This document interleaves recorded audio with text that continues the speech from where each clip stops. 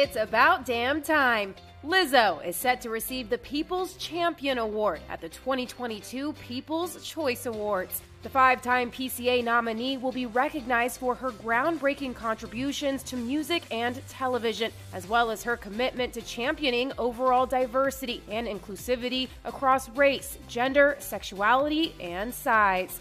A three time Grammy Award winning performer, Lizzo has shifted the sound, soul, and spirit of popular music and culture. And this year, she maintained her unstoppable momentum with the release of her highly anticipated album, Special, led by her Billboard Hot 100 number one hit, About Damn Time. Okay.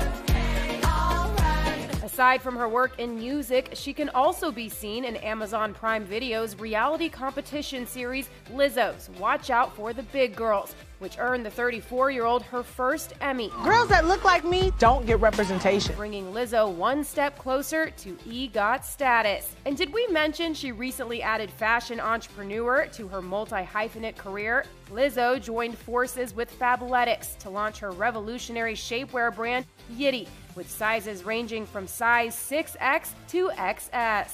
The 2022 People's Choice Awards will air simultaneously on NBC and E on Tuesday, December 6th at 9 p.m. Eastern. But before then, live from E, the 2022 People's Choice Awards will be kicking off the night with a red carpet special you won't want to miss.